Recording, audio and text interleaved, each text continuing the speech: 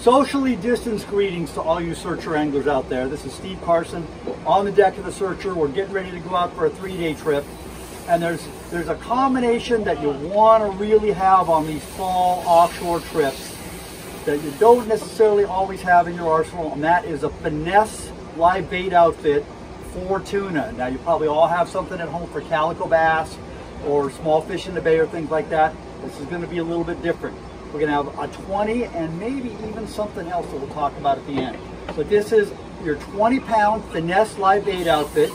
And it's a small, I'm going to kind of show this to Kelly in the camera. It's a small conventional live bait reel, no level line. This happens to be the Penn Squall 2 15. Um, I've got it about filled up three quarters of the way up with braid and about a 50 yard top shot of monofilament on the top, 20 pound test not 25, 20. And then I've got about a four or five foot piece, can't really see that not too well, four or five foot piece of 20 pound fluorocarbon, and then the pièce de resistance, a little fine wire that's an owner Gorilla Light number four hook. That is a small hook. And when the bait is not too good and or the fish are kind of finicky, that's what you have to have. Now, obviously, you're not going to use this for 100 pound tuna. It's not what this is for.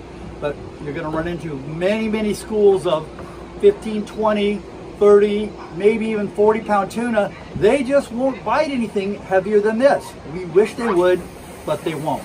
So you got to make sure that you've got a very well matched combo, a reel with a very good drag. If you're not sure how to set the drag, have one of the crewmen set it for you. You want to make sure that the fish can take that drag out and run like crazy because that's what they're going to do. And make sure that your knots are perfect. Everything has to be perfect if you're going to catch a 30 or 40 pound tuna on one of these finesse rigs. But on the other hand, if you don't get a bite, you can never land anything. And some days, this is just the only thing they'll bite.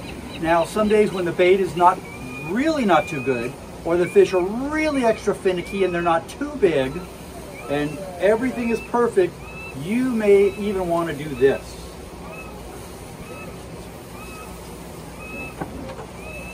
and that is your 15 pound rig. And that is 15 pound test monofilament.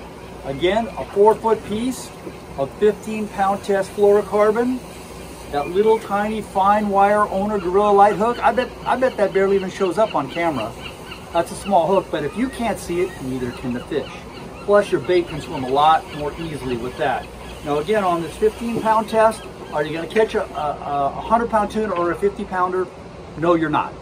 Okay, but lots and lots of schools. There's not any giant ones on there. Actually, last year in this very exact spot on the searcher, right where I'm standing on this exact rod and reel setup, I caught a 44 pound bluefin tuna on this exact setup because I couldn't get a bite any other way.